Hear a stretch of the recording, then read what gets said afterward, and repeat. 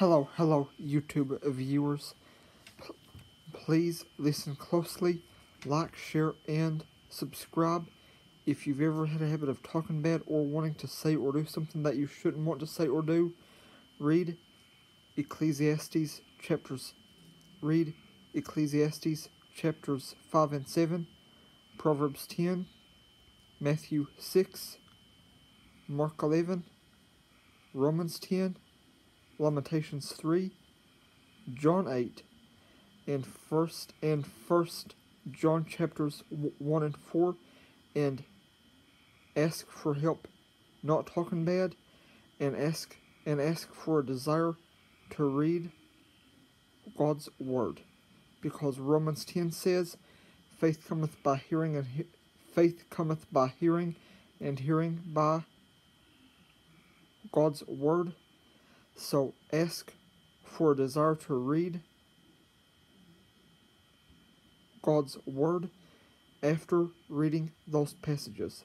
But I repeat, if you've had a habit of talking bad, it is it is most important that you that you read Proverbs 10 and Ecclesiastes Ecclesiastes I repeat Proverbs 10 and Ecclesiastes 5 and 7 and Mark 11.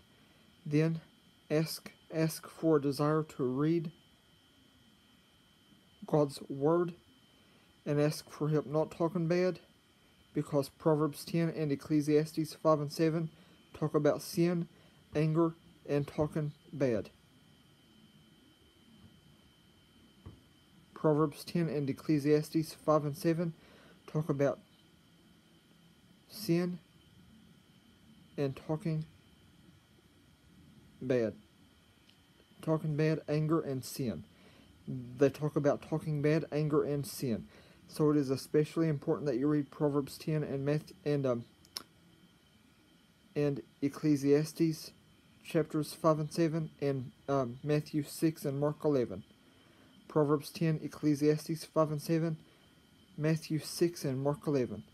After, after you read those passages, ask for help not talking bad and ask for an increased desire to read God's Word because Romans 10 says, Faith cometh by hearing, and hearing by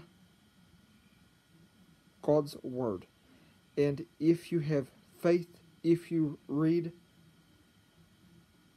God's Word often, you are far, far, far less likely to talk bad. I hope this helps you. I hope this helps you.